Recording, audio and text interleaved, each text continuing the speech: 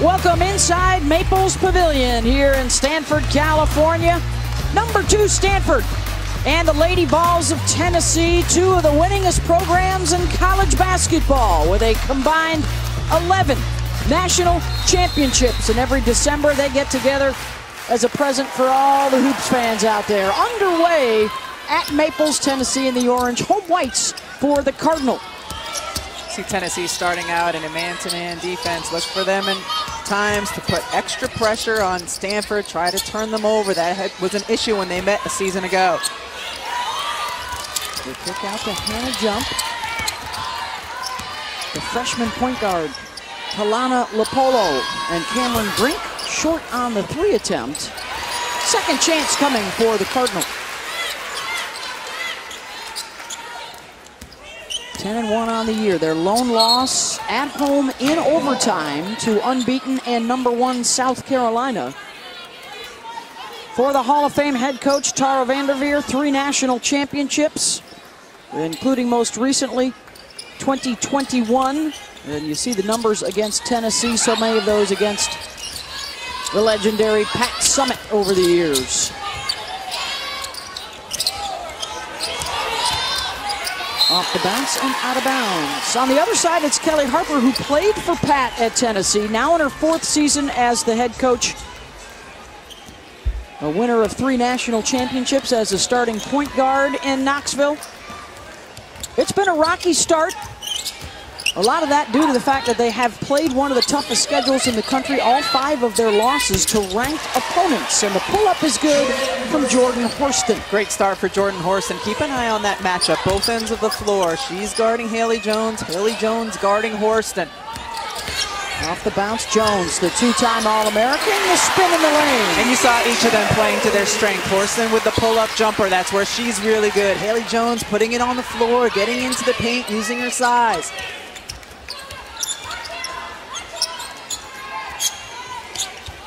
Mid-range. That won't go from Karoline Striplin, and a foul on the rebound will be on Horston. It's uh, a bit of lineup in flux for Tennessee. Now, there is a look at the starting five for uh, the third game in a row. They will bring Rickea Jackson off the bench. Honorable mention All-American who transferred in from Mississippi State. Trying to lob over the top. Iriafen, and a trip coming to the free throw line. Here's a look at Rickea, hoping that she'll be in soon. Rickea Jackson was a DNP for two games. Coach's decision. You mentioned the last two games. She's been coming off the bench in their most recent game.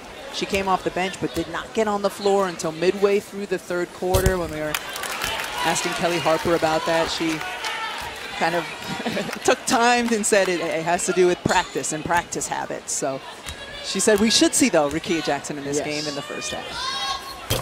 Kiki Iriafen. The misses on the freebies. And now Tennessee the other way. Horston bothered on the shot. Stanford, one of the top shot blocking teams in the country.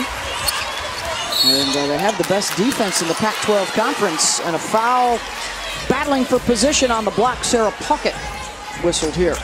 Stanford has such great size, and it helps them have an ability to block shots. And Horston at 6'2 can typically shoot over most defenders, even if they're big players who have switched out on her. But Stanford's size is just at a different level. Polo off the bounce, one-handed, and she'll earn a trip to the free throw line. Foul on Jordan Walker as we welcome in the third member of our crew, Andraya Carter Well, thanks, Beth. Rebecca, you talked about Stanford's size and how much trouble that has caused opponents. That is especially important today against Tennessee because they are without their 6'6 center, Tamari Key. Due to blood clotting in her lungs, Tamari announced on Instagram that she will miss the remainder of this season. If you go look at her Instagram post, you will see hundreds of comments from players around the nation expressing their support, including Cameron Brink and Haley Jones of Stanford. I talked to Haley Jones about her support. She said, listen, in the women's basketball community, we absolutely have to stick together. The respect, the care, and the support for Tamari is definitely there, guys. Drea Tamari Key's their anchor on both ends of the floor. Great take by Jordan Horston. You know, she could be an eraser as a shot blocker, which would allow her teammates to exert a little bit extra pressure defensively out on the perimeter. And a player you could go direct entry to, as you see Stanford the last couple times, without Tamari Key and defensively, they have been looking to post up and go to that high-low. Well, Rebecca, I talked to Jordan Horston yesterday about the difference with Tamari Key not being on the floor, and she said the first practice without Tamari Key was a major adjustment. It was almost emotional. Passes you're used to throwing, things you're used to doing on defense, you just can't do anymore because you're right. She is not there to clean things up and make things easier. Well, that also makes this uh, matchup in the paint so much more important. The kick out to Puckett for three, and Sara knocks it down. She has taken over as the starter for Rickea Jackson. She's been playing really well the last few games. She's playing more at the four spot than the three, more comfortable there, but obviously a player who can still stretch the defense. Cameron Brink goes to the right. She and Haley Jones, the two returning All-Americans, the only team in the country that can boast of that. Another look for Puckett. Back-to-back -back Jays just gives Tennessee so much spacing when they have players who can come down and transition secondary and hit that shot. We talked about the tough schedule. They've started to crank it up a bit the last few games. In fact, they've won three in a row. They're going to get a foul here on the box out against the Cardinals. But they're in a much better mental space and obviously physical as well. Sara Puckett at 6'2", can extend the defense. You see the closeout a little bit late by Haley Jones, able to drain the three. And then this has created Jordan Horston, dribble penetration, draw the defense, and then kick it out. So much of what Tennessee gets on the offensive end is a is direct result of Horston and her dribble penetration. Horston and Jones matched up there. Brink with the rebound. Inadvertent horn, they'll play through it. I was say, that's a really fast first quarter.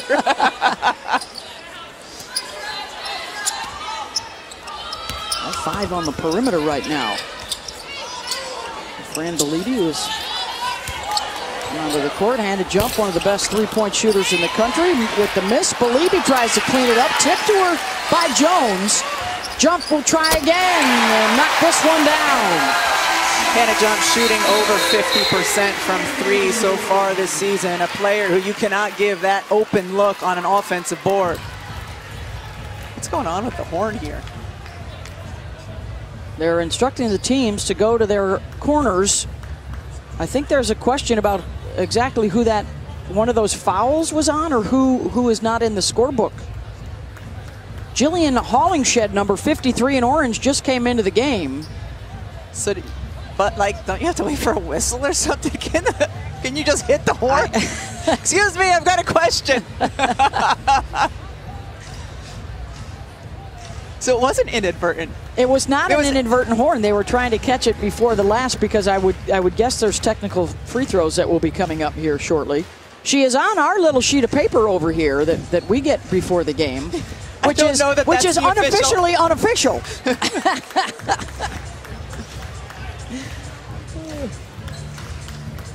McCall Murray, Benny Luna, Teresa Turner are officials.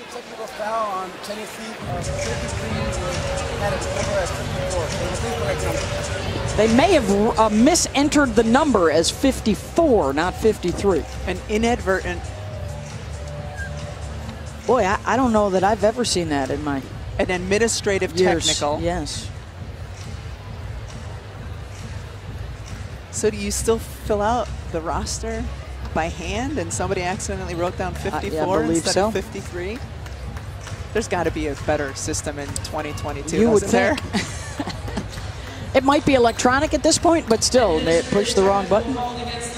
At any rate, it's Hannah Jump to the free throw line, who is a five for five on the season. Senior from San Jose.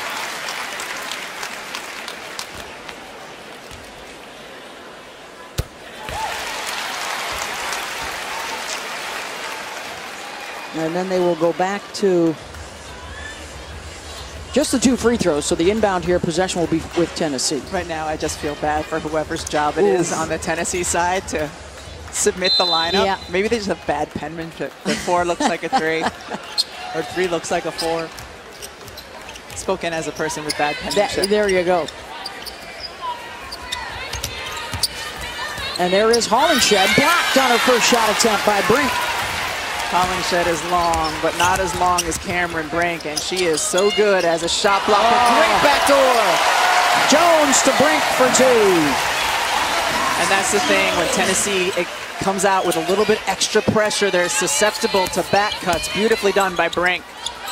Hollingshead bothered on a second shot attempt by Brink.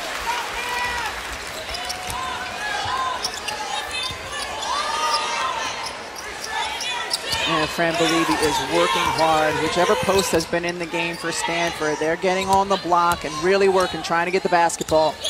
Haley Jones picked up the dribble. Brink goes back door again, missed the layup. And then she's the last one to touch it. Cameron Brink can get it done at both ends of the floor. Don't let the appearance fool you. She is a 6'5", strong athlete. Great job with the block and then cuts back door, quickness, agility. We see it, Cameron.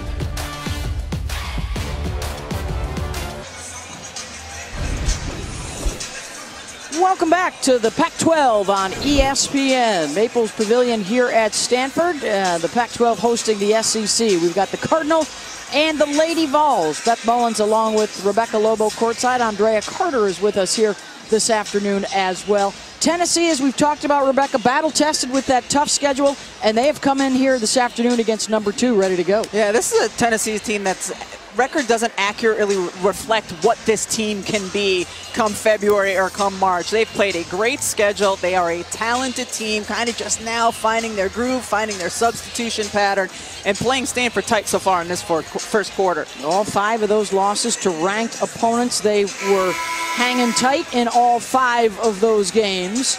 And for the Stanford Cardinal, national champs a couple of years ago, they were back at the Final Four last season. And with a pair of returning All-Americans amongst the favorites, uh, right now they and South Carolina have separated themselves a little bit. Their only loss was out here to the Gamecocks in overtime. And right now on a 7-0 run, buoyed by an administrative technical foul as uh, Tennessee put the numbers into the scorebook incorrectly. It cost them two points. Will that cost them late in the game? And we get our first look at Rickea Jackson, who has come in off the bench, the honorable mention All-American of Mississippi State. Held ball here, will stay at this end. Rickea Jackson at 6'2", capable of shooting from the perimeter, really tough off the bounce. Great athlete, can create her own shot.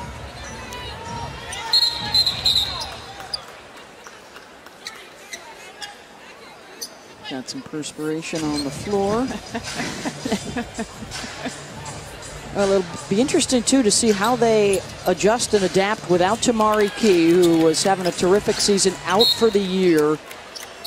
Uh, this is a team that has relied over the years so much on dominating the paint, on owning the glass, and getting to the rim just like that. There's Jackson.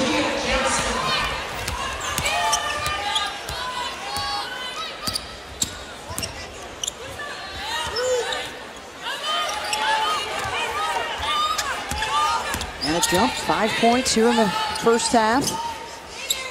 Belibi left unattended. Off the bounce, gets it.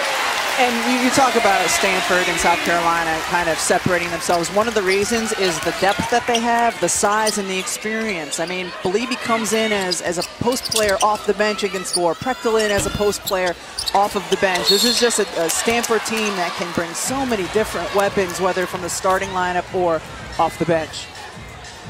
Got a foul there on the Cardinal. Striplin to the line. The inaugural Jumpman Invitational in Charlotte tips off Tuesday with a top 20 women's matchup. Number 7 North Carolina and 19th ranked Michigan. Coverage begins at 7 Eastern on ESPN2 and the app. Cameron Brink returns to the floor for Stanford.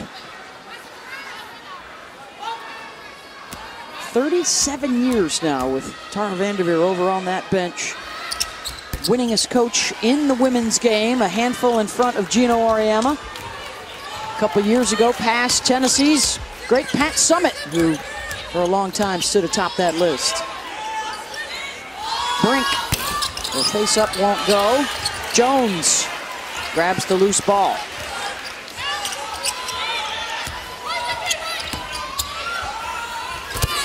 Mid-range is good from jump.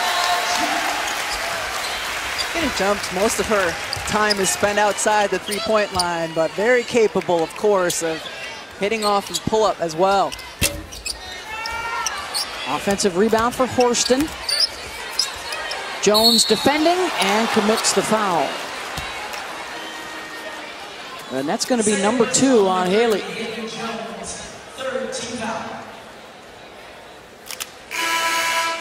And Jones will have to depart with a pair of fouls here in the first quarter. Replaced by Brooke Demetre. Brooke Demetre is a terrific three-point shooter. She had five made threes in their last game, but Haley Jones, Jones does so many other things. Gets defensive boards, so good in transition when she can push the pace, gets to the offensive glass as well.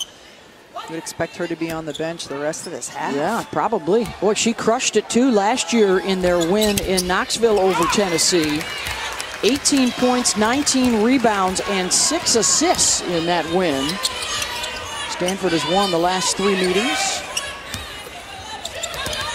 Jump. And now Ashten Prechtel also into the ball game. Demetre's first look is off. Brink is there on the glass. Stanford has done a really nice job getting to the offensive glass and then capitalizing on it when they do. Top five all-time already for Brink in field goal percentage and blocks, and she'll take the charge right there. Offensive foul on Jackson. I like the idea, though, for Jackson. You know Cameron Brink is a player who can be prone to foul trouble, and so take it right at her. You have the quickness advantage, but how about Brink? Does a great job moving her feet, keeping her hands out of the way, lets Jackson push off and draws the foul. Really good job by Brink. Because that's the next step for her in her yep. game is just staying on the floor, being smarter defensively, not trying to block everything.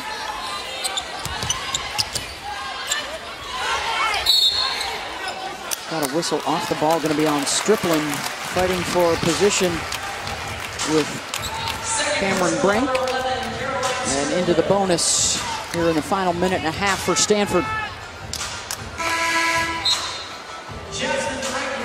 Second foul on Striplin. She'll depart. Jasmine Franklin, the grad transfer from Missouri State and a former All-Missouri Valley Conference player coming on.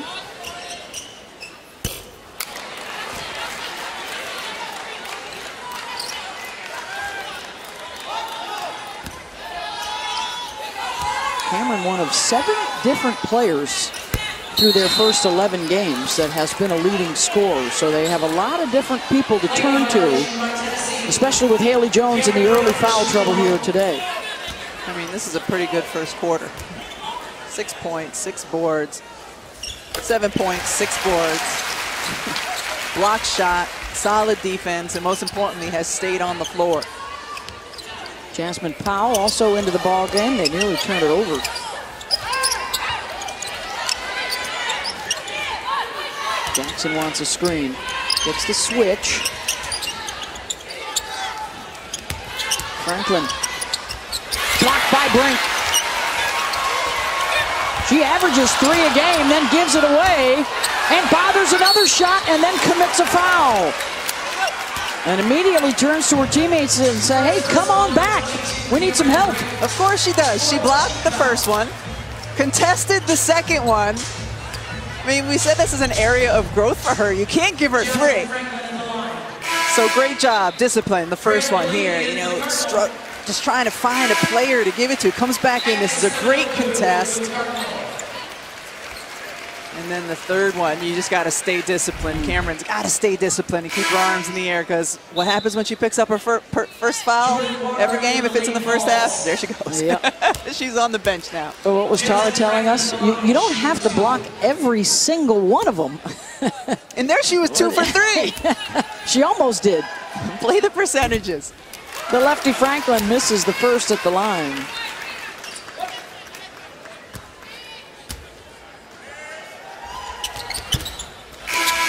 One or two, done a substitution. Puckett will come back on. Tennessee, another team with very good size at multiple positions. It really hurts to not have Tamari Key, six six as your anchor, but they still have some good size coming in off the bench and on the wing spot as well. And the Oku has come on for Stanford. So both coaches uh, hitting those benches early. 10 on the shot clock. Lepolo. Gonna need a bailout.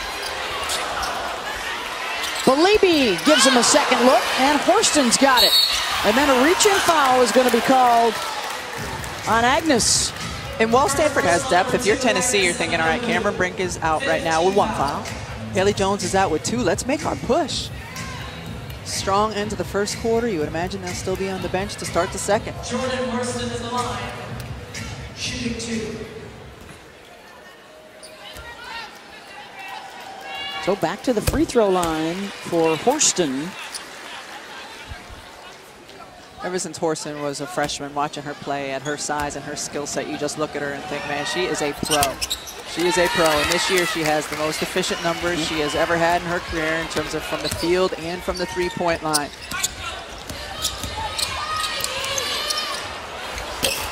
Short on the shot. Held ball, and it will stay at this end. Stanford can hold for one if they want.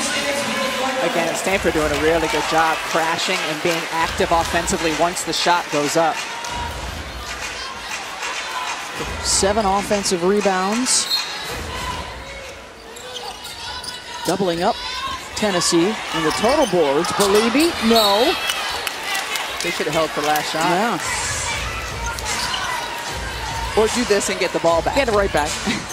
but now I think it might be smart to hold for the last shot. Well, let's see. They got a freshman running the point. Here she is. Lepolo checks that clock, and now we'll back it out.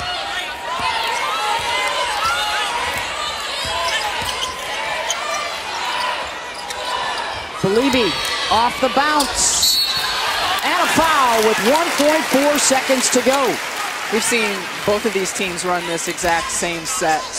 And it's get the ball elbow entry to one of your bigs and then have the other big set the screen and, and let her drive. And nice job here by Belibi to get to the free throw line. It's just something that's really difficult to defend. Boy, and that's a tough spot for Jackson to pick up her second foul. And out she goes. With only a second left on the clock, Belibi, the senior out of Centennial, Colorado, to the line, 66%.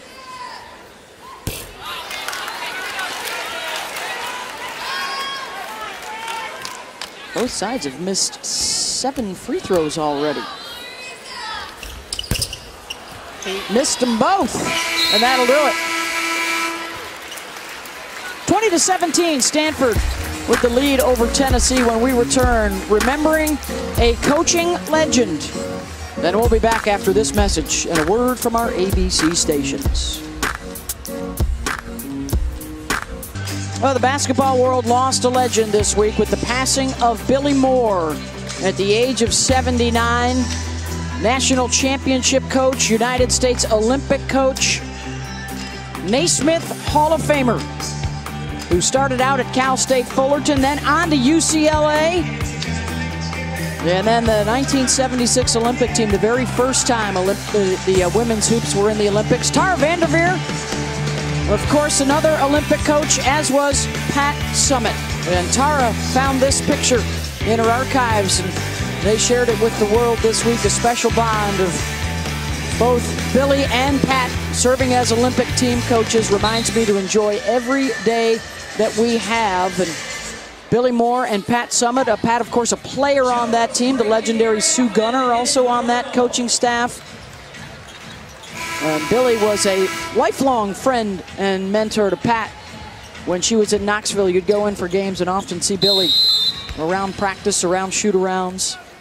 It's a pretty incredible photo there. All of the yeah. women who have who paved the way in so many ways for my generation and now this current generation of women, female basketball players. Shout out to a lot of her peers, too, the likes of Cathy Rush, Margaret Wade, Marianne Stanley, Sonja Hogg, Theresa Grentz, all those coaches who won titles back in the AIAW days. And how about that Olympic roster, Rebecca? As a future Olympian yourself, looking back at that. Uh, Ann Meyers, Nancy Lieberman, Lucy Harris. Yeah, some of the giants. Yeah.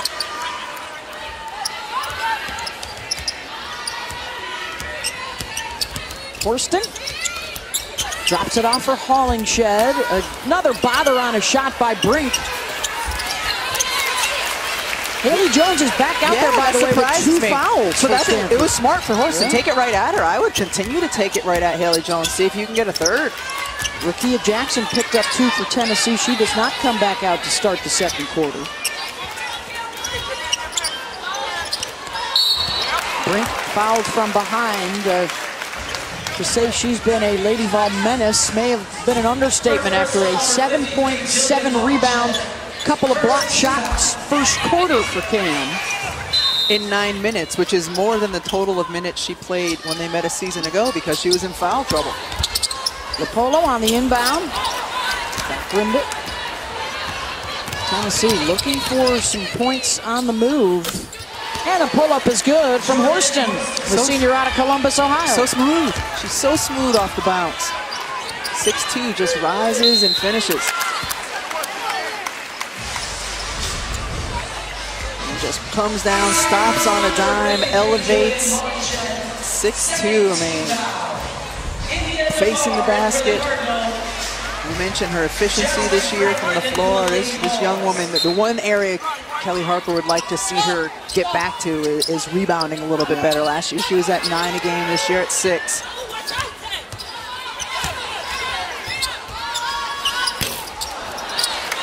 Here's with the rebound hit 1,000 points earlier this season. She's got 500 rebounds, close to 400 assists. And a foul on the rebound will go against Hollingshead. That'll be her first.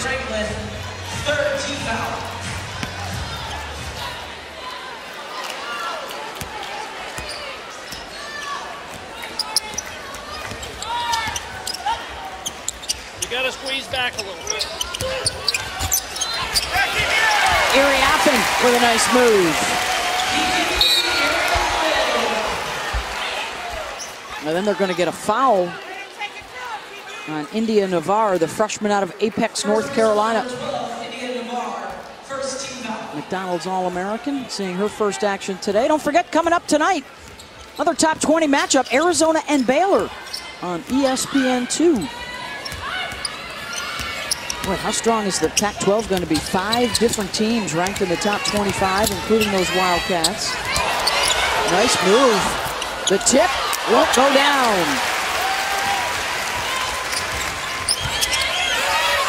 Jones around and out for Hannah Jump. What a great pass, though, for Haley Jones, and that's one of the reasons you want her out on the floor in transition. Great vision.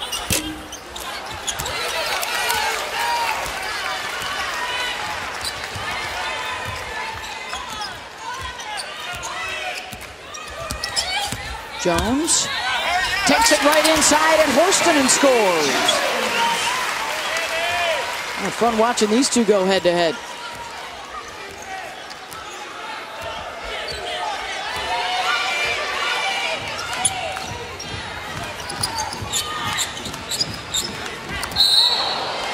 Oh, that's going to be on Brink, just trying to push her way through the Franklin screen, and that is her second foul.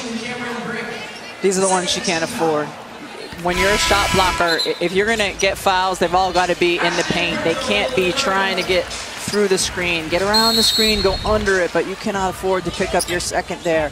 Because unlike Haley Jones, who Tara has put back in the game with two, I don't think she'll we'll see no. Brink again this half. She fouled out eight times her first two years. Only the one time this season.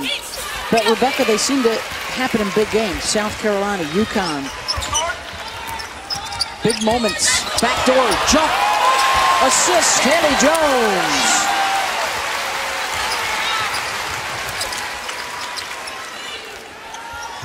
Puckett steps away and hits. Good start for Sara. Former Alabama Prep Player of the Year. Trying to front. They get the pass over the top. Iriafen. And another assist for Haley Jones. Seen that a couple times, right? High-low, trying to get the ball into your post player. Stanford's post players have worked really hard trying to establish position inside. Jones, a little bit of everything here. She gets the rebound, head up, the feed, and a missed lay-in. A lot of contact away from the ball on that one. Tennessee clears with Horston. Puckett, trail. Got it. Her third of the first half. That's a scouting report miss. They didn't locate the shooter. Such a focus for Tennessee in their transition defense to find their way out to the shooters, and they've done a pretty good job of it.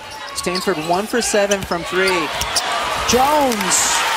Oh, and on the screen, Horston, I think took that right in the belly, and she is down.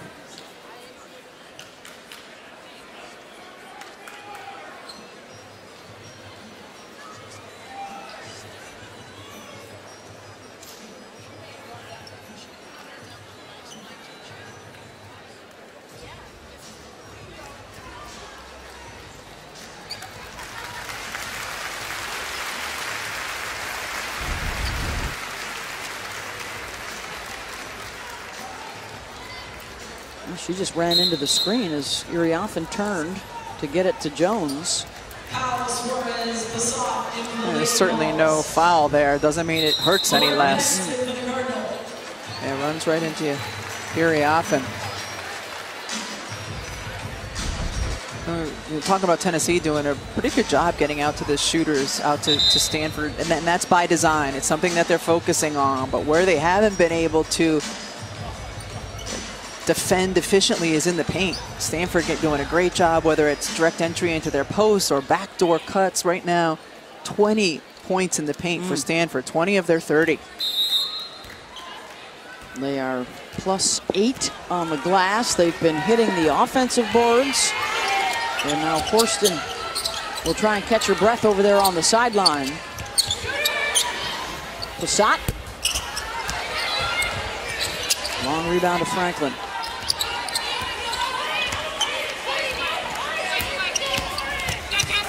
Foul off the bounce. Jones hanging close to Puckett. Scoop and one! Marta Suarez, the 6'3 sophomore from Spain.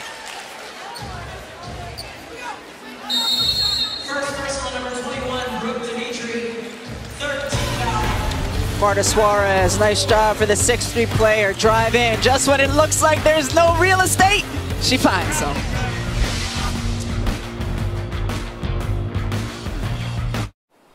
Kev, Steph, and Nikki coming up at the half. We will recap a very entertaining game between Florida State and UConn and a big-time return for the Huskies. Steph, how does Stanford unlock Haley Jones here? I think they've been doing it in the first half. You get her on the move. I like when they play off of the elbow, get her on some back cuts, post her up against other defenders as well. I think Haley Jones is one of those players, too, that can get on the boards for them.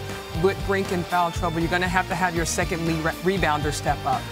Got some top 10 action at the half, highlights around the country as well, Beth. All coming up when you join us at the half. Yeah, terrific day of college basketball.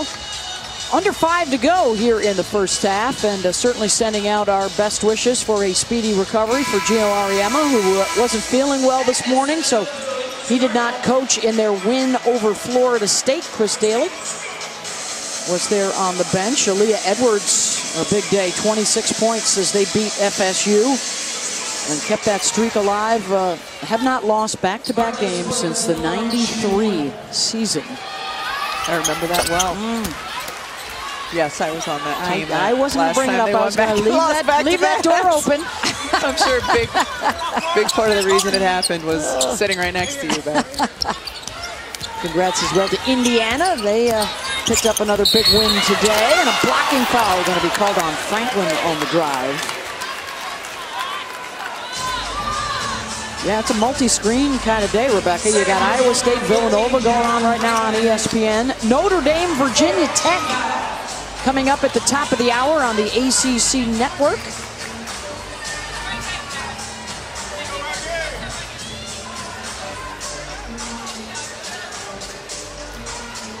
Number one, South Carolina, also a big winner this afternoon. Also got some men's games going on. The inaugural Jumpman Invitational in Charlotte Wednesday. Michigan and North Carolina. Yeah, that looks familiar. That's because they got the same schools, men's and women's teams playing this week. At the Jumpman Invitational, our coverage begins 7 Eastern on ESPN and your app. Got a clock issue I think they're trying to work through.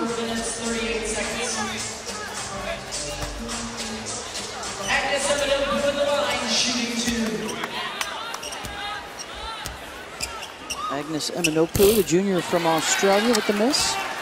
Take a look at the at the free throw line right now. Lauren Betts in the game for Stanford, and she dwarfs everybody Oh, from Tennessee. Yeah, even though Tennessee has players with good size, Lauren Betts at six seven, and you would nope, now she comes out of the game. I was expecting Stanford to start, you know, try to take advantage of that and look inside. And, and if you're Tennessee, make it a priority in this last 4:35 to pick up another foul on Haley Jones. Yeah, Take it at her. Number one recruit in the country. Puckett off on the three. What you got for us, Andraya Carter? Well, during that last free throw, you saw Haley Jones sort of pull her team together. And just here on the sideline, she was talking to Coach Tara Vanderveer about exactly what she wanted to relay to the team, the leadership of Haley Jones. You all are talking about her playing with these two fouls, but her communication with Tara and then her ability to relay the message to her team is very obvious. so important. It's so important to have that player on the floor who who can have that leadership quality, who can convey to the younger players. This is a, a senior who has experienced it all, has won a national championship, who has done it.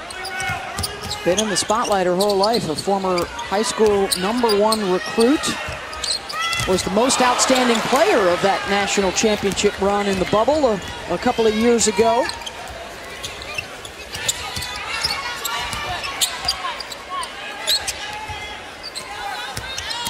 Off the bounce, Suarez got around Demetre.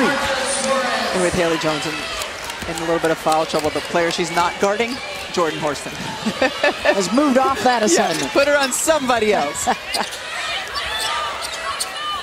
Tennessee has tied this thing up. Jones will try from outside. There's a lot of different ways that Haley can affect the game. The, the three-point shot has not developed into one of those just yet. no. You would expect her to get there eventually, but it's going to take some time. Brink continues to sit with the two fouls. So now Tennessee a chance to take the lead here. Well, what a feather in their cap after the rough start. Their worst, by the way, at seven and five since the first days of the Southeastern Conference in the early 80s. If they could come out here and get the dub. You see Tennessee sprinting back, transition defense, getting out to the shooters. Their last priority is actually the ball handling. And Stanford continuing to have success with their bigs, just working hard inside, trying to direct entry into there.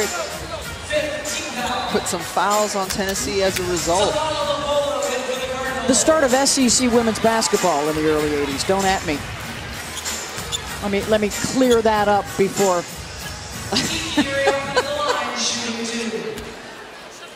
Did, did you just say uh, throw a It don't was a- me? It was a preemptive strike. yes. That's where we're at. That's one of those things if you said it 10 years ago would make absolutely no sense at all. Don't at me. Really often. Boy, the, the uh, free throw shooting is leaving a bit to be desired Yeah, for they've both clubs. yeah. Suarez. Boy, she's feeling it. Taking it inside and then missed the gimme.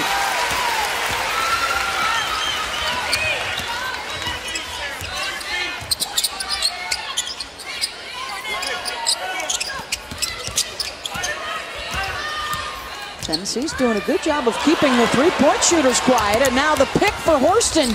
Easy the other way for the lead. Great job by Horston. That was just using her length, active hands. Instead of just having them down by her side defensively, that's what you want to see, and it results in an easy two the other way. Well done. Jones, good post up and a foul. Just watch Jordan Horston, 6'2 and long. She's out defensively on the perimeter. Hands active, hands active.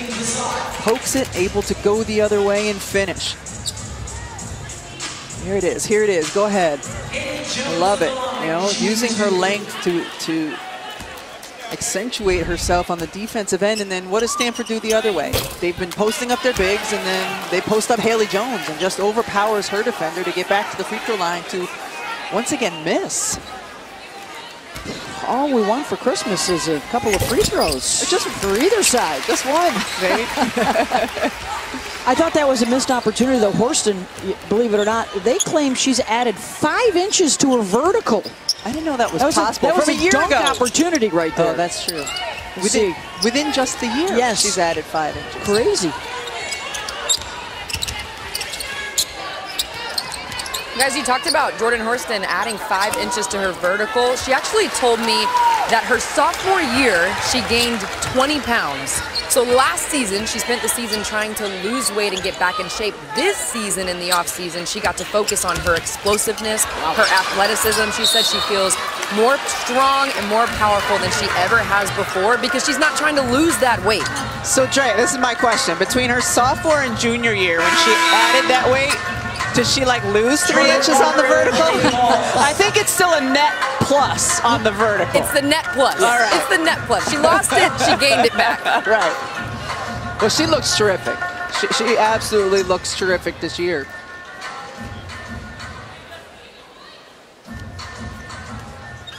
You got two pros on the floor right now in, in terms of uh, assuming they come out. Ready for next year. Yeah, and uh, Horston and Haley Jones. I mean, you have more pros than that on the floor. I mean, in this particular draft. Speaking of next year, how about the return of Brittney Griner? She announced this week that uh, now that she's back from Russia, she plans to play in the WNBA this summer in Phoenix. Great, best- great news for the fans. The best part about that is that she feels healthy enough physically and mentally where she can do that.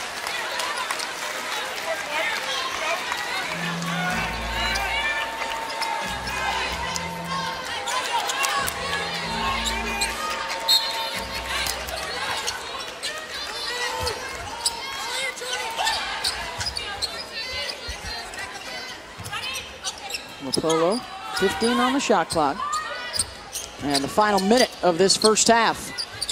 Very entertaining. Six lead changes, four ties, another backdoor cut for jump. Nice patience by Stanford to wait for that to develop and then hit the cutter.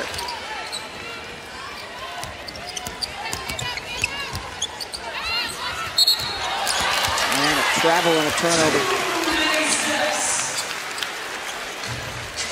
Let the play develop. You know, part of getting the back door is the initial part when you have to extend out and get the defense to bite on it before you go back door. That's the thing with Stanford. You want to put pressure on them because they can be prone to turning it over, but then you have to deal with the backdoor cuts when they don't.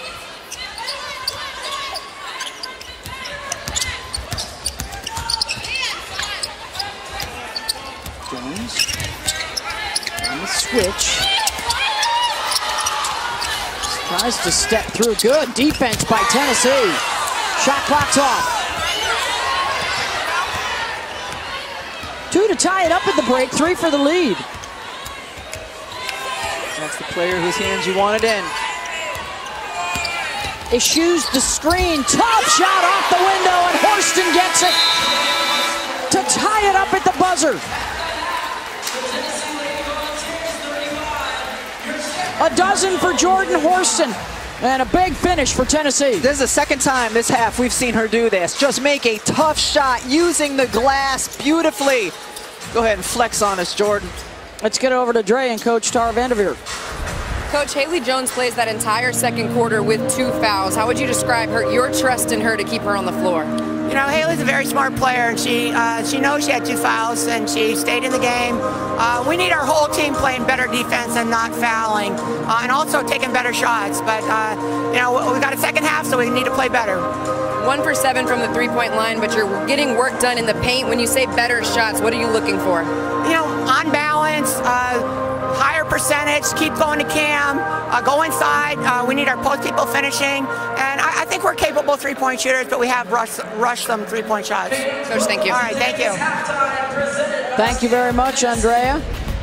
11 points for Hannah Jump to lead the way for Stanford. Horston with 12 and Sara Puckett with three triples, 11 points for Tennessee.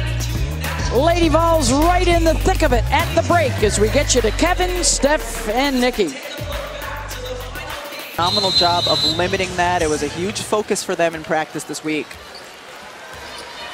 Underway in the third quarter here at Maples Pavilion. Brink immediately gets a touch and a trip to the free throw line. Yeah, you gotta love the set. Give Brink the basketball on the elbow, clear out the right side of the floor and let her go to work. That's well listed as 6'4", but she is certainly 6'5", has good handles and can put the ball on the floor effectively.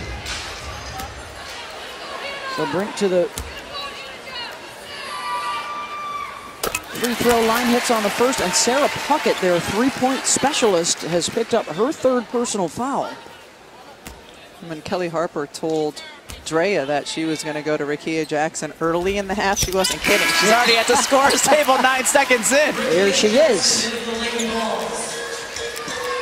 Now she comes on after picking up a couple of fouls in that first half. And what do we see? Yeah, what do we see now is Stanford with a little bit of full court pressure. We did not see this at all in the first half.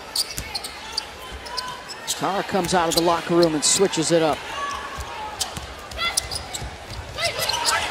Open three, good. Tess Darby, the junior out of Greenfield, Tennessee.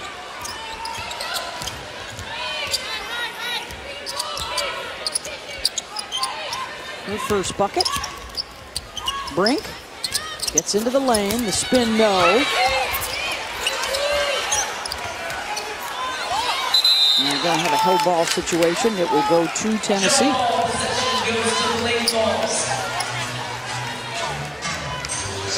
Stanford has been so tough to beat here at home. They lost once already to South Carolina, once to Texas last year, one of the best records over the last decade here at Maples.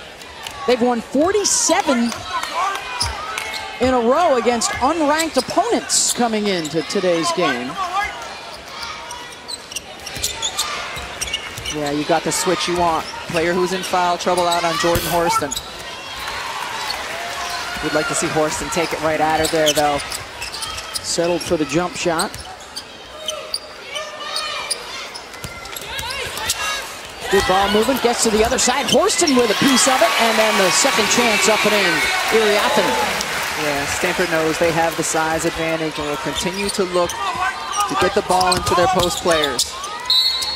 Oh, and Brink just picked up her third.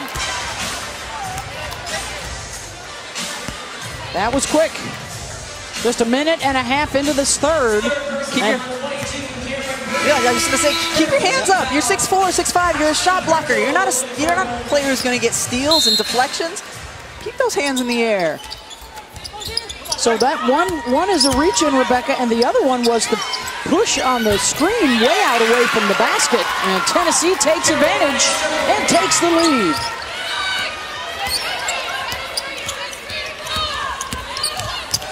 Lepolo all the way for the land. Really nice job by Lepolo. You could see her kind of assessing the situation as she drove in. Is the help going to come? Because if it does, I'm going to drop it off, but the help did not. Somehow that one got over Prechtel and a dart right into the basket.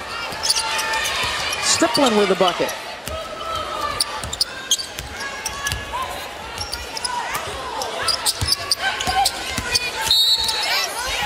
Polo again off the bounce, foul before the shot. Polo driving left, assessing. Is the help defense going to come on the screen? Because if it does, then I'll dump it off to Iriafen, but it doesn't. So she finishes, and you're right. How does this go in? It almost like she threw it down. But a nice finish nonetheless. Not the arc you usually get on a shot, but effective. Presto! Well, she stands 6'5", but her specialty is out beyond the line as she knocks it in.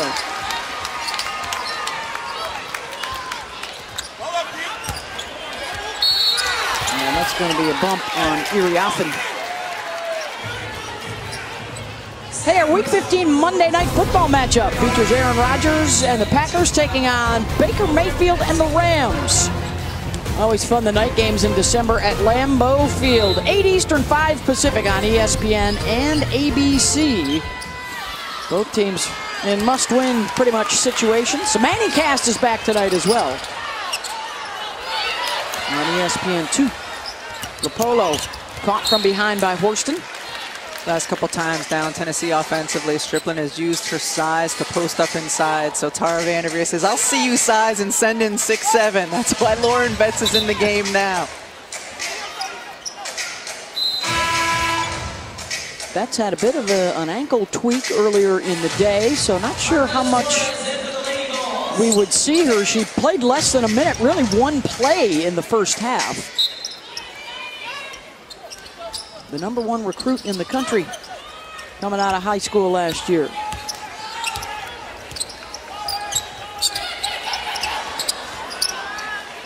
Jordan Horston's on 6-7 Betts. You've got to get the, the basketball. Off the fake, Haley Jones around and out. Prechtel tips it to herself and then gets tied up. Jordan Horston is 6'2 and long, but Lauren Betts is 6'7 and strong. This is right there. You have to make that pass. It was really good defense by Striplin, though. She took away Haley Jones' vision to get the ball inside.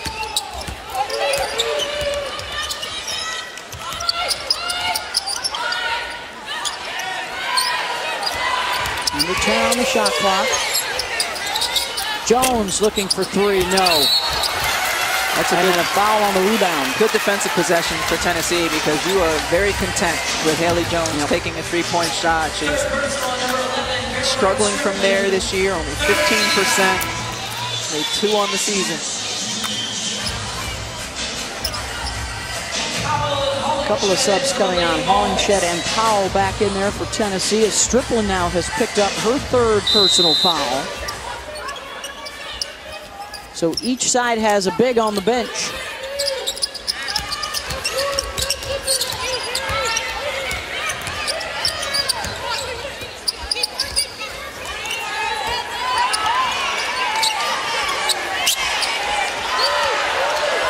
Lepolo. The step back. And another scrap for a loose ball, and this time it'll go to Tennessee.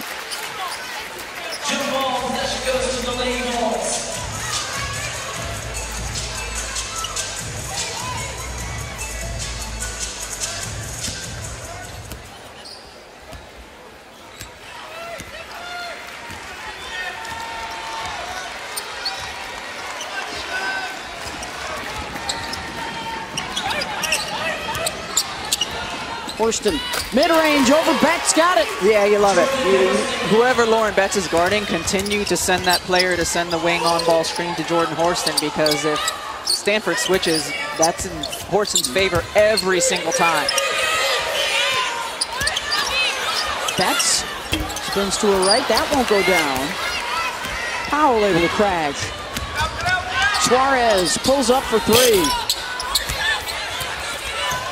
Trying to jump weak side.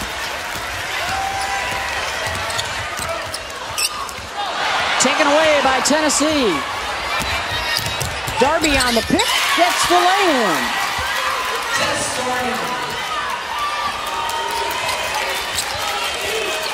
As we see Stanford turn the basketball over, that's now seven turnovers for Stanford. Tennessee with three. This is a Tennessee team that struggled early in the season with turnovers. 29 versus Ohio State. In the last two games, they've kept it into in single digits. It's, a, it's huge for them if they can take care of the basketball. Prechtel may have forced that one. Well, the Cardinal are going to get the ball here under five to go. And a two-point Tennessee lead. A couple times we've seen Tennessee be able to get out, create havoc, turn defense into offense. Another two for Darby.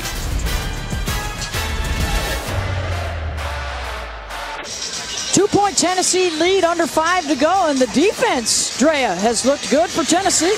Well, we saw Tennessee's defense in the full court getting out into that layup, but even in the half court, if you watch Jordan Horston is playing off of Haley Jones a significant amount. Tennessee is very willing to give up Haley Jones from the three-point line.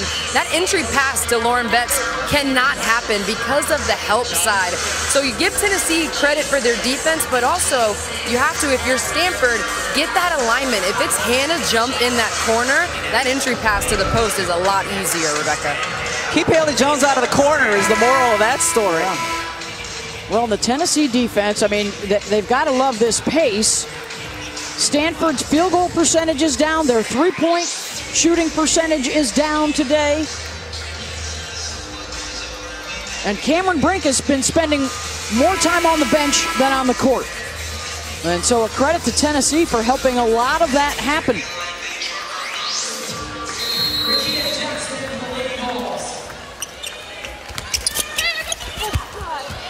And they'll force another turnover.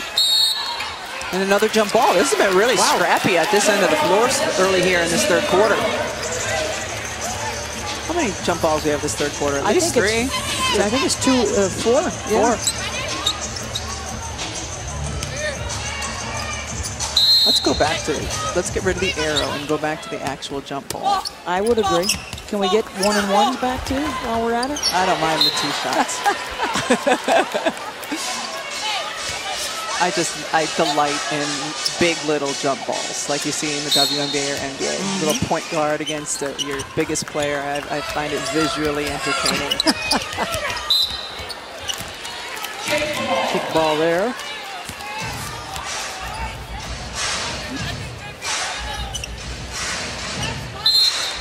As Tamari Key continues to look undone for the year. One of the stars for Tennessee out injured. And a whistle and a foul. The inaugural Jumpman Invitational going on in Charlotte this week. The women are tipping off Tuesday with Michigan and North Carolina. Coverage begins at 7 Eastern on ESPN2 and the app. Been a hot start for both of those conferences. A handful of teams high in the rankings, including Ohio State and Indiana for the Big Ten staying unbeaten. That Virginia Tech Notre Dame matchup going on right now in the ACC. Virginia Tech with the uh, first quarter lead.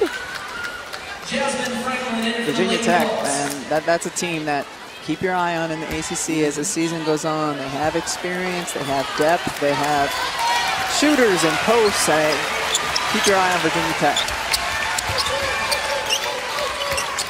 Four-point advantage now for the Lady Vols. Their biggest of the day. Jones, mid-range, no. Offensive rebound, Iriafen. We'll get Haley another look, can't knock it down. This time Tennessee clears.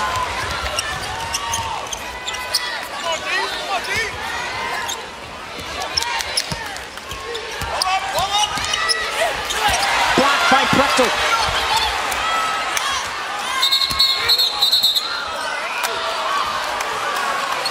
Whistle is a jump ball. Another jump ball, number five. Prechtel with the, the block earlier in the play. Not only is she big, she's long. She's got long arms. I'm going to wear out the lights on that uh, possession arrow clock here in the second half. Under four to go in the third.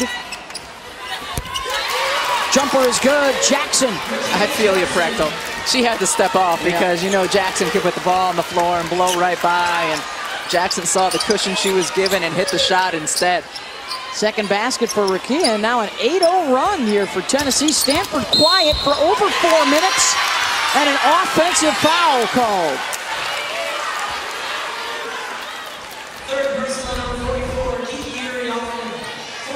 Third on Iriafen, so she's got three, and so does Cameron Brink talked about the Stanford post posting up strong all game long. That time Iriafen throwing the elbow. Enough extra to get the foul called. And now Brink will come back on. As will Brooke Demetre.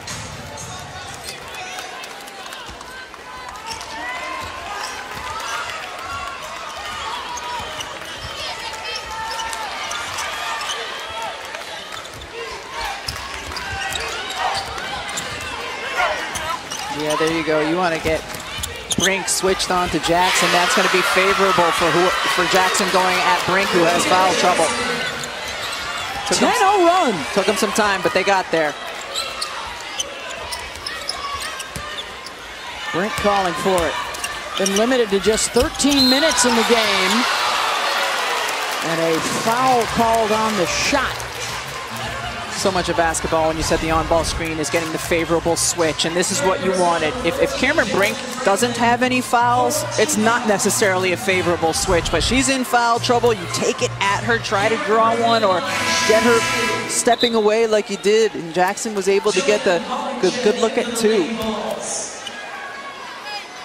Looking for the first points of the second half for either Brink or Jones.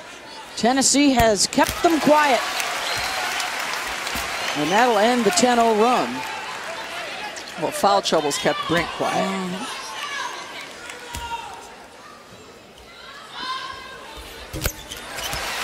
M.A. Voepel has a great article on ESPN.com about Cameron and how she's been trying to overcome her foul proneness.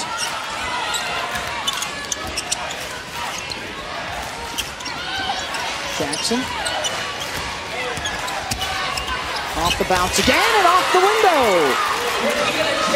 What makes her so dangerous. 6'2", quickness when she puts the ball on the floor, ability to get inside and finish around the rim. Brink back to the line again. Hollingshead with the foul. And if you have Brink in the game with foul trouble, you have to look to get her the ball inside. And that's what Stanford has done the last two possessions. She's in there to score. Eight in her first two seasons, including some foul trouble last year against UConn at the Final Four, and then fouled out in overtime in their loss here against South Carolina. She did have 25 points in that one. But still a work in progress in that regard for the junior out of Beaverton, Oregon. And the free throw woes continue. 12 of 22 now for Stanford from the free throw line. What are they on this season? 75%, yes. Typically, good shooting team. And they're home.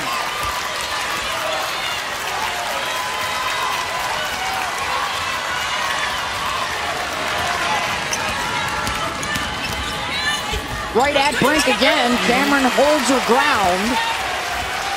You prefer, though, if it's Jackson going at Brink yeah. because she's 6'2". Jones steps through and scores.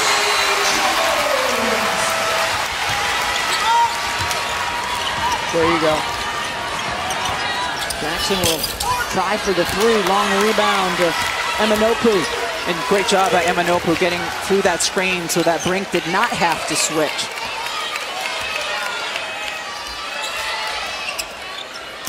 Allen calling for it.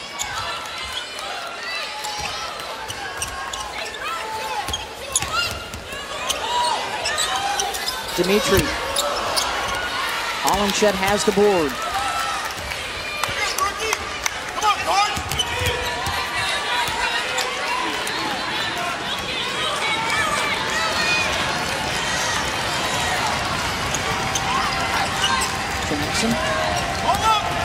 Again gets in the lane because of their ability to go off the bounce. The paint points are almost dead even now.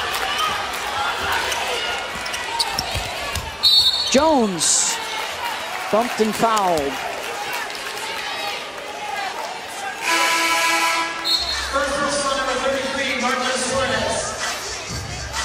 Marta Suarez picks up the foul. But for Stanford, they're, they're just one of their last nine shot attempts. They're getting to the line, but not converting.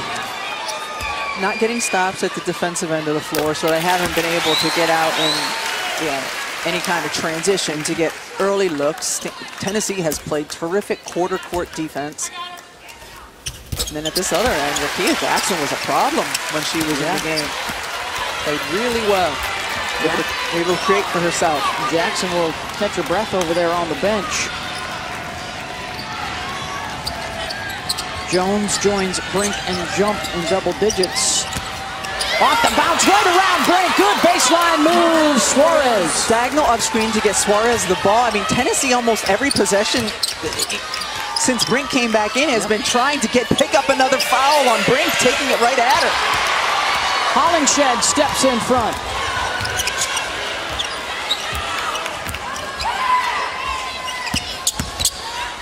Short corner, blocked.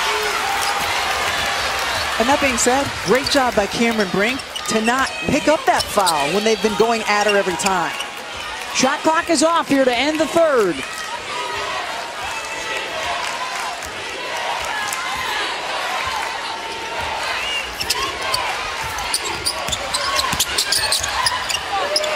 Brink for three.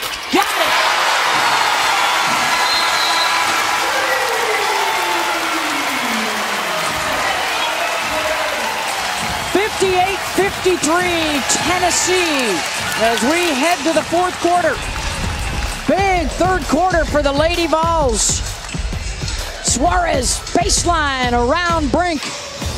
And then Cameron steps away for three. And we'll be back after this message and a word from our ABC stations. Uh, Stanford so good in the early 90s. They won in 1990 the national championship in Knoxville.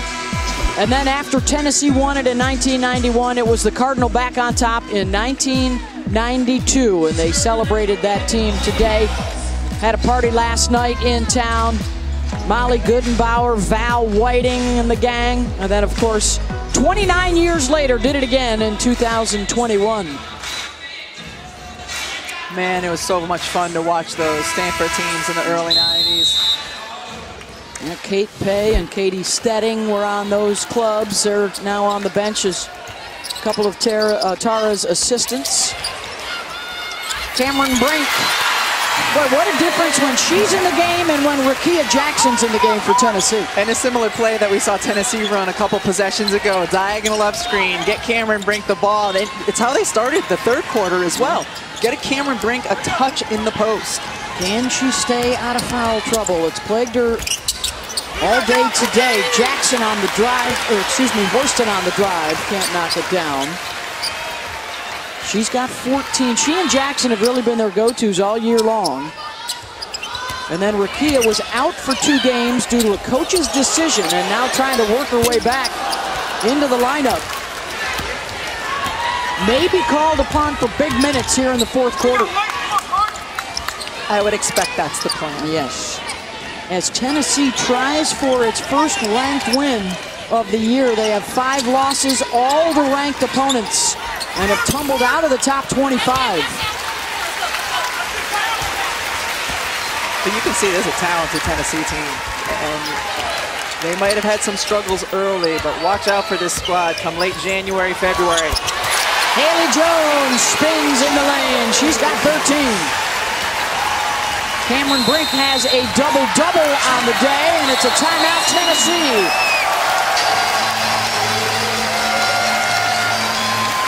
Haley Jones at 6'2 has the size advantage over Jordan Walker.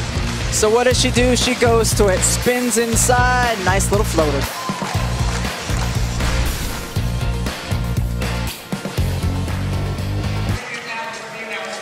Look at both huddles as we are underway here in the fourth quarter, and a good one. Tennessee took an eight-point lead in that third quarter, and Stanford has come marching right back. One-point differential Huge difference for Tennessee in the third quarter was the play of Rickea Jackson. She is so good creating for herself off the bounce. She can pull up and hit the mid-range shot. She can take you all the way to the rack, able to finish over players with good size. Eight of her 10 points came in that third quarter. She's back in the game now along with Jordan Horston as Tennessee tries to make this final push. Yeah, she was the leading scorer in the SEC midway through the season last year at Mississippi State and then entered the portal. And arriving in Knoxville, averaging 16 a game this year. They were looking for her inside. Number two in orange. Knocked away by Demetre. Yeah, really good job by Demetre. Sort of pulling the chair first to get Jackson to go down and then getting a hand on the ball. 47 wins in a row for Stanford against ranked opponents. Uh, unranked, excuse me. Looking to get the lead back. And they do. Cameron Brink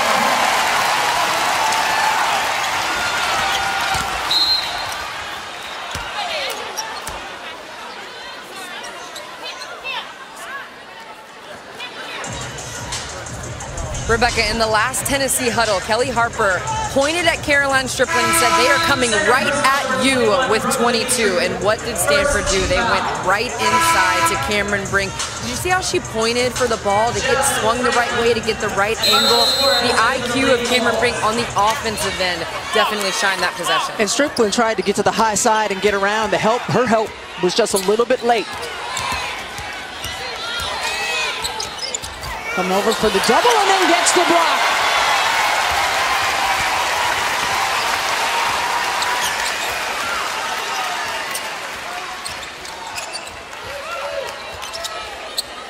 Jump for three.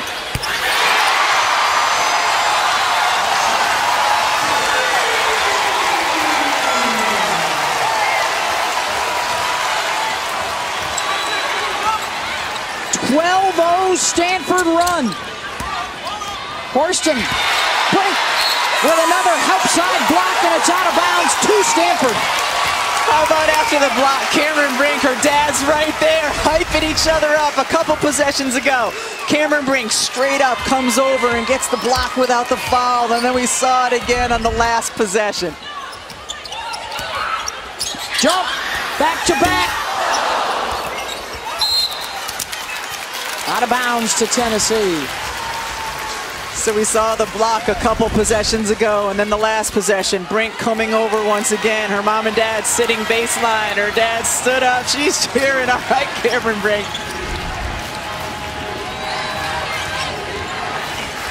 Well, you see the effect that she can have on both ends of the floor. Jackson with the fade offensive rebound and in. Jasmine Franklin for two. Great job by Franklin because she's undersized in there and just heart and hustle to get that board and finish. Jones.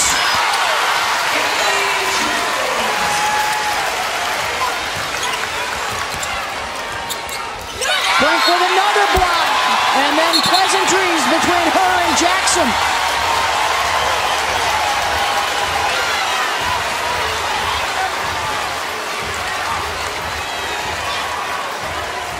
Brink with the block on Rickea Jackson as she comes over and helps side and then looks at her, says a little something.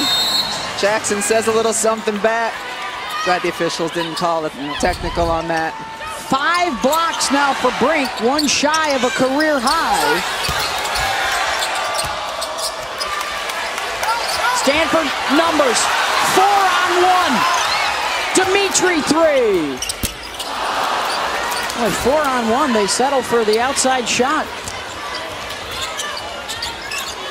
They're now just 4 of 15 from outside the arc. Off the pick. Demetre repositions. That was not a good decision. No. It wasn't a good decision when she looked at it the first time, and it was almost a worse one when she took the dribble to the side. Understand time and score. You've got the four-point lead. Settle in. What's, your, what's Make the, Tennessee play a little bit defense. What's the heat check minimum these days? You got to make at least three or four in a row, right, before you can heat check it. And at five and a half minutes in a four-point game, yeah. you can't heat check at all. Well, and you got to learn from the South Carolina loss. Tara VanDerveer said, hey, we need to take better shots and make better decisions down the stretch. They'll be tested here with that.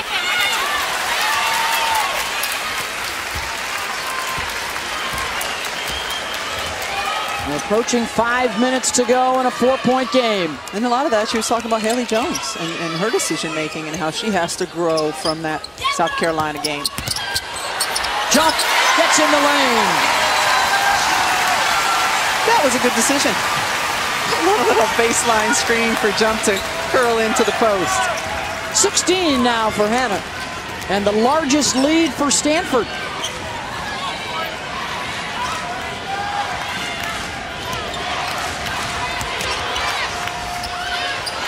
Looking for three. Offensive rebound and a foul. That'll be on Demetre. Stanford on a 16-2 run. They're getting it done on the offensive end. Hannah Jump with a monster three, and they're getting it done defensively as well. In particular, Cameron Brink blocking some fools.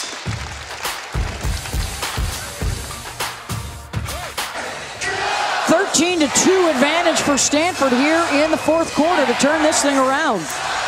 Stanford has been able to get things going on both ends of the floor. Solid defensively, solid offensively, and so much of that is Cameron Brink. We know she can step out and hit threes. It's when she's in the post that she can be so dominant. Blocking shots as well, including this one. And forgive me for the block some fools going to break. That's what we tell our kids when they go play in their high school games. Go block some fools. So no disrespect at all to Tennessee. Just a little shout out to my kids at home. And let's check in with Andraya. Well, I was talking to Haley Jones yesterday about Cameron Brink, and she said that Cameron Brink is an absolute monster defensively. She also added, it's not fun in practice going against Cameron Brink. She said in practice, she gets in the paint and she's getting blocked by Lauren Betts, by Kiki, and by Cam. And the question is, where are you coming from? That's how the opponents feel as well. And you know what, Drea, like Haley Jones is so good with her step-through move once she gets in the paint, faking and stepping by shot blockers. She's probably honed that skill going against her own teammates in practice. And her plus minus is uh, 17 today. As you see Greg and Michelle, they're sitting down beneath the, the basket. She's got to stay in games. It's as simple as that for them to have a chance in the NCAA tournament to make another deep run and get back to the Final Four for a third year in a row. And now on the other side for Tennessee, where do you turn? Horston, Rickea Jackson, both in double digits. And Franklin with the missed free throw.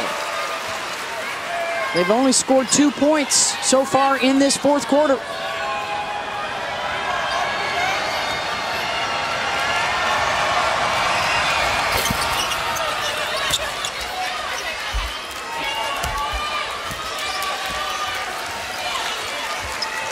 Five point game, four and a half to play.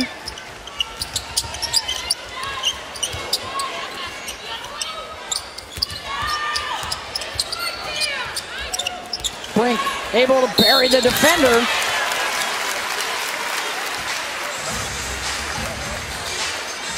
Cameron back to the free throw line. Don't forget the Jumpman Invitational in Charlotte on the men's side is coming up on Wednesday. It's Michigan and North Carolina, 7 Eastern on ESPN and the app.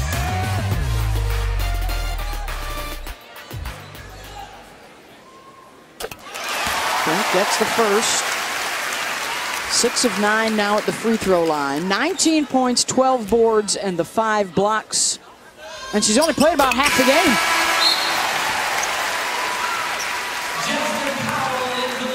Jasmine Powell will return. Tennessee has had success when they've gotten the ball off a screening action into Jordan Horston's hand and then just a, a simple on-ball screen. Get a switch. Yeah, you'll see it here. They're running an Iverson action for her over the top. They've held Horston to just two points in the second half as Jackson misses the shot. I just would like to see the ball in Horston's hands. Yeah. Haley Jones, backdoor.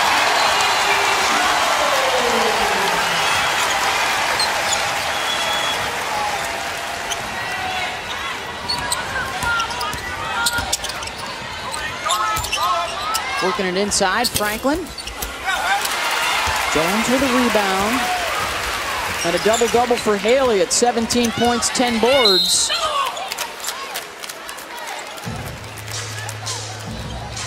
Elbow entry into Cameron Brink, and then Haley Jones just works beautifully off of it, puts her hand up so Brink knows where to pass the ball, and it's so such a luxury to have a tall passer because they can see over the defense and deliver it cleanly. Jones picked, Horston.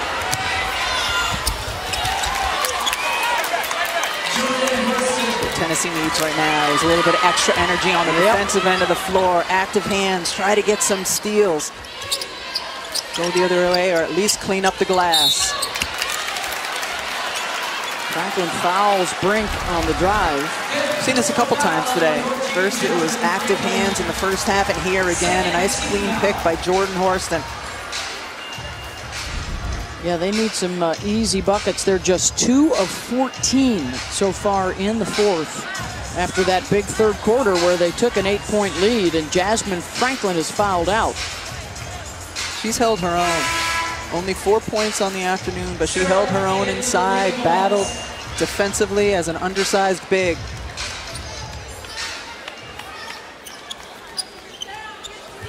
Just a couple of team fouls apiece so far in the quarter. Jump missed a chance to get it inside the brink.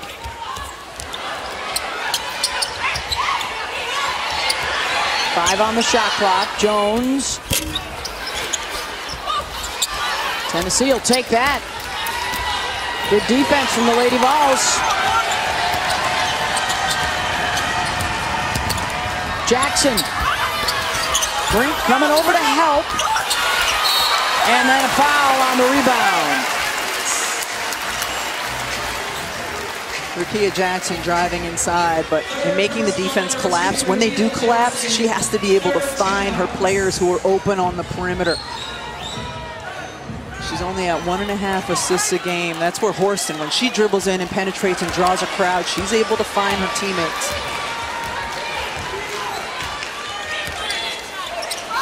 Open at the nail, Demetre no. Brink, offensive rebound and the kick out. And they can work some clock.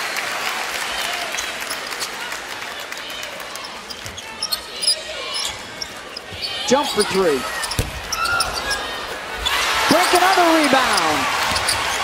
Jones drops it off for Nopu, missed. And a third offensive rebound for the Cardinals. Tennessee just does not have those bigs in there right now. That's where they were missing Franklin at the moment. Even though she's undersized, she was boxing out and able to get a body on the bigger Stanford players. Haley Jones on the fourth chance of the possession.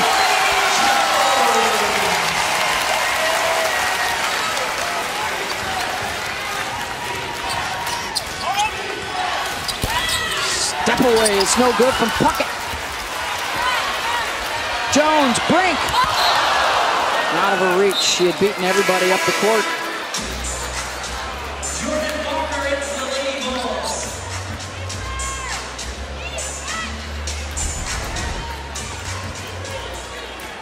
Uh, just out of Cameron Brink's reach. VanDerveer.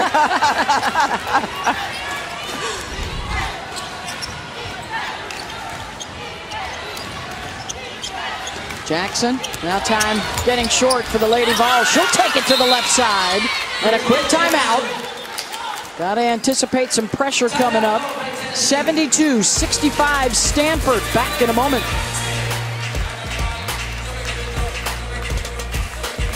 The College Football Playoff Semifinals, Saturday, December 31st on ESPN.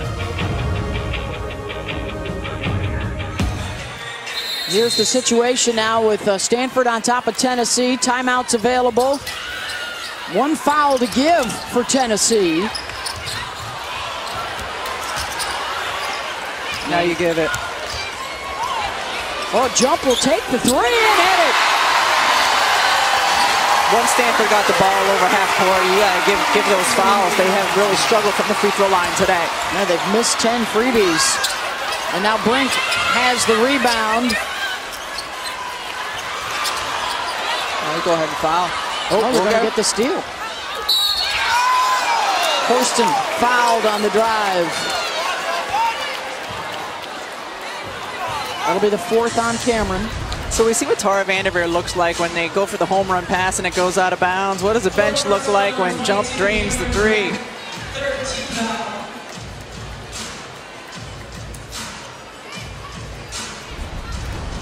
Pending. There, that, that, there, there they go. That's what they look like.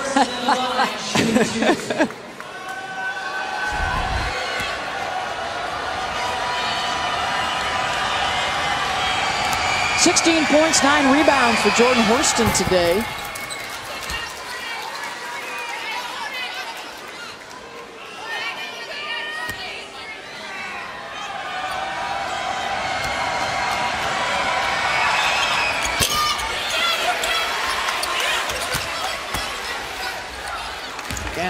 Consider fouling. I mean, as poorly as Yeah. Stanford has shot from the free throw line. Well, they're going to get a, a second straight turnover. Tara VanDerveer not happy. Well, even if they do get the win, she's talked a lot with her team about handling end of game situations much better. And her young point guard will come out here. Nopu comes in. She's going a little offense, defense with her subs right now.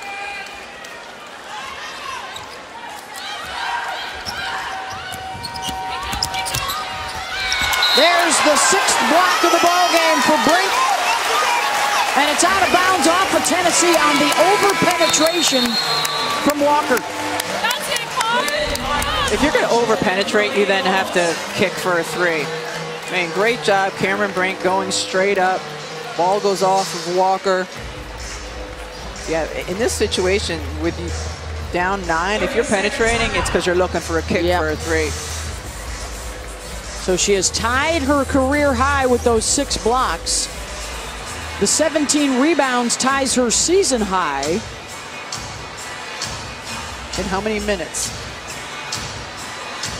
Well, 25 yeah, minutes. I mean, in the first half, she only played 11. She averages just under 20 minutes per game. Some of it has been foul trouble, but a lot of it has been just the depth of Stanford and the, the margin of victory against most teams. And with the rim protector in there, look at the difference in the fourth quarter. They've outscored Tennessee 22 to 8. Only three Lady Vol baskets in this fourth quarter.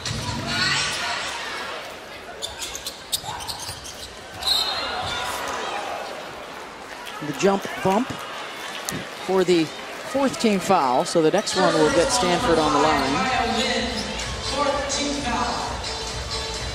Hannah jump perfect on the season from the free throw line, so Stanford wisely trying to get her the basketball. Only seven for seven, but still.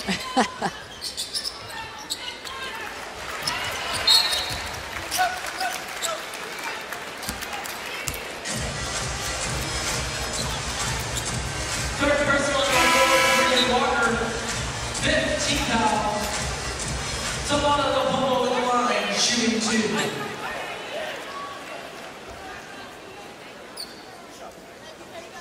Lepolo to the line.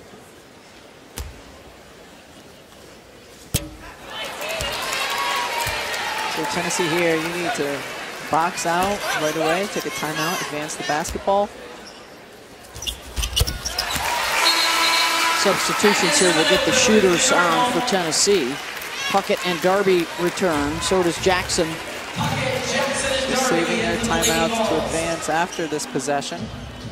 This match is the largest lead for Stanford. Okay, now they're There going to it timeout is. and There it advance. is. Yeah. Timeout called by Tennessee. They will have a couple left. They also have the possession arrow. Puckett hit three threes in the first half. Hasn't hit one in the second. In fact, as a team, Tennessee just won three-pointer in the second half.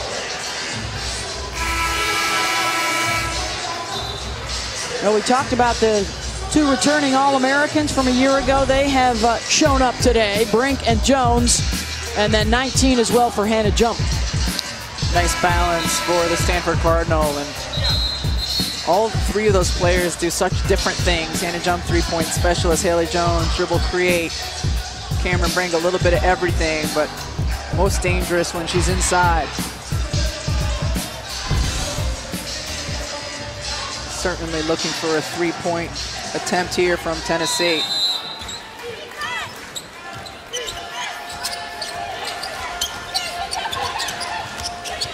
Walker. Jackson. Fouled on the drive. Clock stops with 15.8 to go.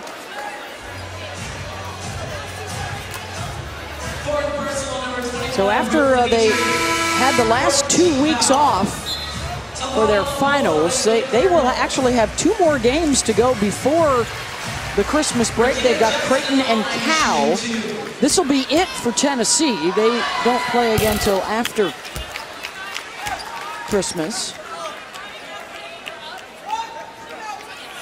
Tennessee is talented. They're just going to take a little bit more time to, to really gel and find their way, but do not let Tennessee's record fool you. Still trying to figure out that rotation, especially after the loss for the year of Tamari Key. But look at that. I mean, Ohio State, Indiana, Virginia Tech, and now Stanford. That would be four uh, single-digit ranks. UCLA is also in the top 10 now. No bad losses. They weren't, you know, completely blown out in any of these games. Multiple transfers on this roster that are finding their way and the team finding their way with the new pieces.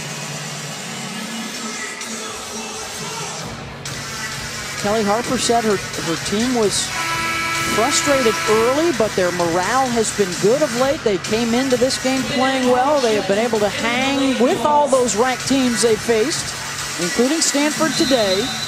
Yeah, you certainly can see glimpses of, of a dangerous Lady Vol squad. Well, especially in an SEC that right now only has the three ranked teams. And I think there are still some questions. Well, certainly South Carolina, number one undefeated at, at the tippy top with reigning National Player of the Year, Aliyah Boston. But then I think a lot of folks are still waiting to see just how good undefeated LSU is. And Arkansas actually got a big win this weekend, a ranked win over Creighton. Hogs are still unbeaten. LSU has looked really, really good, but they have not played a Power 5 conference team yet. So I am eager to see them when they're going yeah. against a little bit stronger competition because they've looked really good so far. Oregon State tonight out in Hawaii, their first Power 5 foe. As time starts to run out, Horston will pull up mid-range and hit it.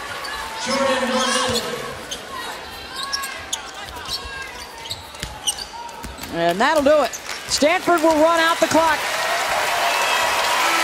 Clutch defense in this fourth quarter, and then big games from Haley Jones and Cameron Brink. 77 to 70, your final.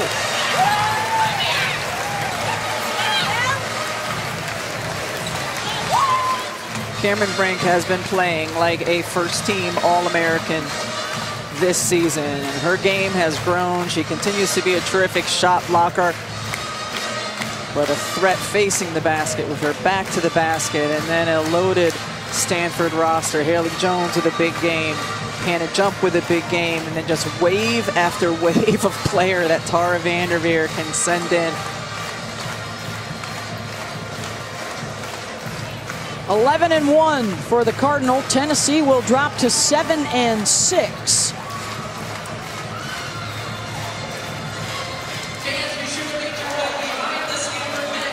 And Andraya Carter is standing by with Cameron Brink. You all right? How you feel? Cameron, you dealt with foul trouble throughout this game, and you still finished with 20 points, 17 rebounds, and you tie a career high with six blocks. How are you able to get it done? You know, just my teammates believing in me. It's simple as that. So, you know, it's fun to come out with them every day, day in and day out. So they're the best. I'm really thankful for them. Well, speaking of your team, you know, they, they're up by eight with a minute left to go in the third quarter, and then you all outscore them by 15 points. In that fourth quarter, what did you feel from the team to pull together and go on that run? Yeah, we really just locked down on defense. We started talking a lot more. I think Brooke came in and gave us some really great minutes. Haley went off, and Hannah Jump's always super reliable. So, you know, I think we just really stepped it up. You mentioned Haley Jones. She had a double-double along with you well, as well. At one point, you and her scored 15 points in a row for the team. How would you describe her impact? You know, I love to play with Haley. You know, it's just plain out fun. She makes it fun, and she just she just gets it done. So I'm just super happy with this win. I'm really happy for her. She's a beast. Haley gets it done, and you all got it done today. Cameron, yeah. congratulations. All right, thank you.